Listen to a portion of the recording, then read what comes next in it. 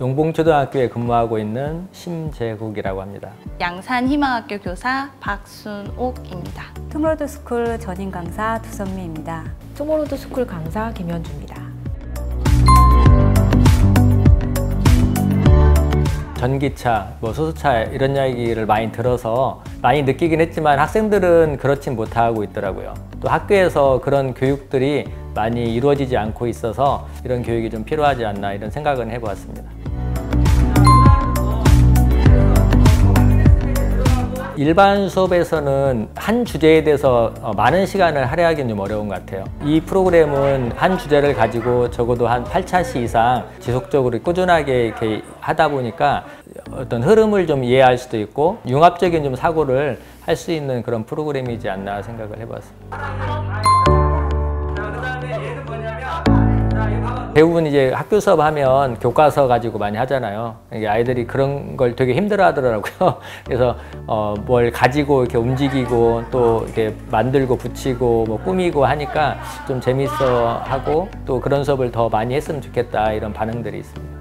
컴퓨터 속에서 코딩해봤던 자동차가 실물로 나타나고 또 그것을 자기가 코딩한 대로 이렇게 선을 따라서 움직이는 모습을 보고 학생들이 너무너무 감탄하고 즐거워했었거든요. 아이들하고 이제 학습을 이렇게 하면서 어떤 지식보다는 요즘은 어떤 능력, 뭐 역량 이런 것들을 많이 강조를 하잖아요. 이 프로그램이 어, 좀 거기에 좀 부합하지 않나 이런 생각은 해봅니다. 어떤 기술적인 것도 다루지만 또 서로 뭐 의사소통이라든지 또 정보 기술을 화, 활용할 수 있는 그런 능력 이런 능력들을 좀 기를 수 있는 그런 좋은 어, 기회였던 것 같고 좀 흥미도 가지는 것을 볼 수가 있었습니다.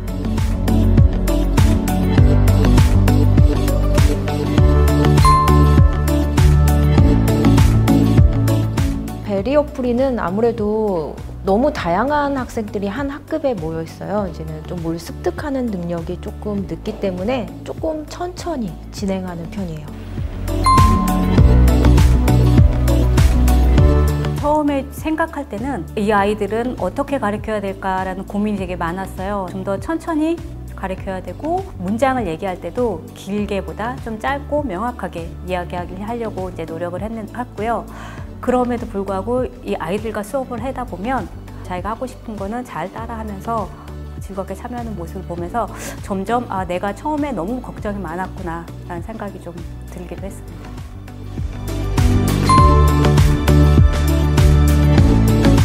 그래서 이런 기회를 통해서 학생들이 내가 어, 관심을 가질 분야, 내가 잘할 수 있는 분야, 좀 이런 부분들을 좀 찾고 거기에 좀 도전을 해봤으면 하는 바람이 있습니다. 네, 이번 프로그램을 통해서 학생들이 자신의 미래를 그려보는 그런 계기가 되었으면 좋겠고요. 당연한 것을 누리는데 장벽이 없는 그런 사회가 되었으면 좋겠고요. 학생들이 조금 더 나아진 세상에서 어른으로서 제 몫을 하는 그런 학생들이 되기를 응원해 봅니다.